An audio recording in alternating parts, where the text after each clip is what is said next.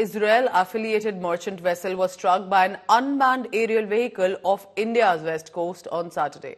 The tanker, identified by the Indian Coast Guard as the MV Chem Pluto, was carrying crude oil from Saudi Arabia, had around 20 Indians on board. A fire on the Liberian flagged tanker was also extinguished without crew casualties in the incident 200 kilometers southwest of Veraval near the Gujarat coast. Now, the Indian Navy has dispatched a frontline warship and an Indian Coast Guard Dornier aircraft to assist the merchant ship. The vessel has started uh, making way toward Mumbai, undertaking damage assessment and repair as well. Meanwhile, the Pentagon has claimed that it was an allegedly Iranian drone attack that has hit the chemical tanker near India. Now, the Pentagon statement has said that this was seventh Iranian attack on commercial shipping since 2021.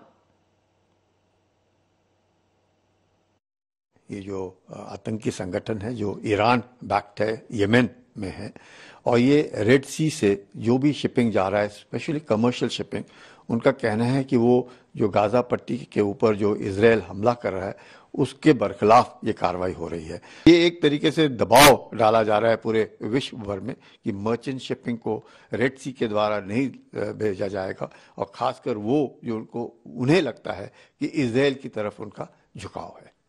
The first thing is a very surprising news because now you can see the uh, the action which was uh, going on around uh, Israel, around Gaza, in the Red Sea area, etc., is now spilling over into the Arabian Sea.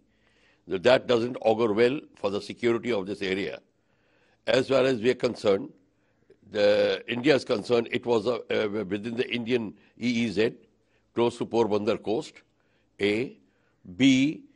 It had Indian on board, and it was a missile attack